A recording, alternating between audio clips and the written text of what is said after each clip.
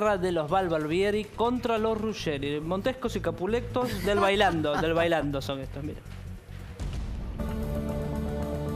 Las malas lenguas afirman que Fedeval bajó de una obra de teatro a Cande Ruggeri, supuestamente por ser la mejor amiga de su exnovia, Barbie Vélez.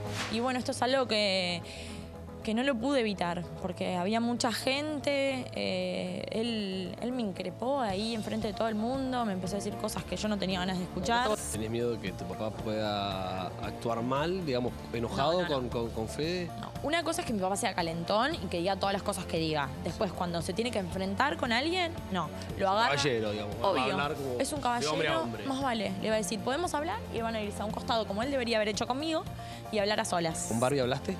Siempre hablo con Barbie. Con Barbie hablo de todo, pero es un tema de amigas que no, no lo quiero decir. ¿Te sorprendió?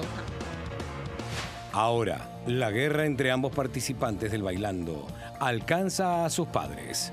Oscar Ruggeri y Carmen Barbieri se cruzaron fuerte. El primero en abrir fuego fue el áspero ex defensor de la selección argentina. Si mi hija la pasa mal, alguien la va a pasar mal, ¿eh? No entendió Tinelli cuando le dije va a haber una masacre. No le decía a la hinchada yo. Va a haber una masacre. ¿Cómo? De la misma manera que fue y encaró a mi hija, me tiene que venir y encarar a mí. Por teléfono todos somos muy piola, dejamos mensajes. Yo los mensajes le hago pac, pac, dos toquecitos los borro.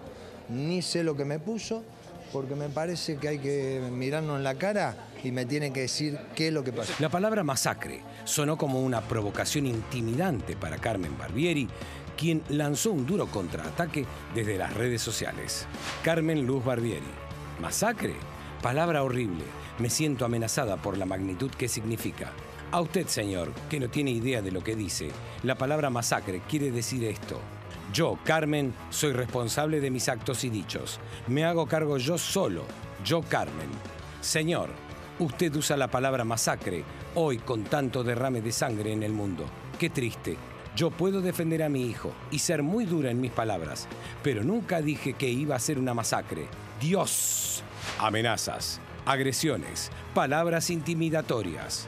Estaba yo en maquillaje, ella entra y le dije, Cande, estás diciendo algo o estás dejando ver el rumor de que yo pude haberte bajado de una obra y no es así. Y muy bien, y muy ameno, cero violento, cero agresivo, no grité. Están todas las chicas de maquillaje de testigos, ella sabe cómo fueron las cosas. Está toda la gente de maquillaje, peinado y toda la gente desde el sur. Como fueron las cosas, le hablé como te estoy hablando así. Le dije, Candela, estás diciendo algo que no es. Por favor, preguntale a los productores de la obra cómo fueron las cosas. Que Oscar se enoje porque vio a su hija triste o llorando es entendible. Entonces le digo, Oscar, por teléfono, en privado, hablé. Hablaste, lo llamaste. Lo llamé, no me contestó, le mandé mensajes, no me contestó, lo llamé, le dije un mensaje, más no puedo hacer, sí. Lo que empezó como un chusmerío entre dos participantes de Bailando por un Sueño, ahora se derramó hacia los padres de ambos y se convirtió en una guerra mediática entre dos familias famosas.